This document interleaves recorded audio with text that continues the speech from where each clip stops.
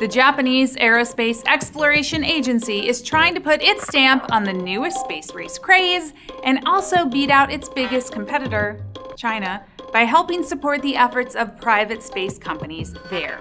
The only bummer is the first big launch did not measure up. Startup space company Momo sent the country's first commercial rocket up on Sunday. Unfortunately, that's as good as it got. The spaceship, which was built by Interstellar Technologies, had a target altitude of 100 kilometers. With just over a minute into its launch, the Momo team lost communication with old Interagency 1 here. Interstellar says the emergency stop was then used to terminate the flight. Overall, then, there was altitude gain of only about 20 kilometers. The rocket is thought to have fallen into the ocean 8 kilometers away.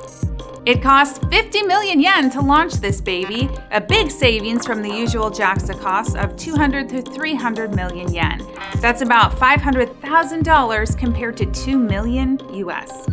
The space race for private companies has been well documented in the US. For that, I'm talking Elon Musk's own SpaceX and the curiously shaped rockets at Blue Origin. Seriously, somebody should have put the brakes on that. Momo's launch is still being heralded a partial success by the company, which says any amount of launch data is useful. And from watching US entrepreneurs and the many crashes and aborts they have had, failed launches have certainly been a part of the process, like this cargo ship fail.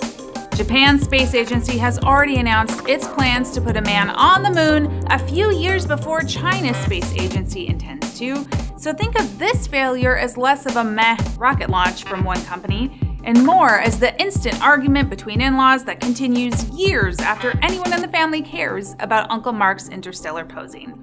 Except this one has extreme amounts of money and future land on the line. For more Engadget today, come back tomorrow.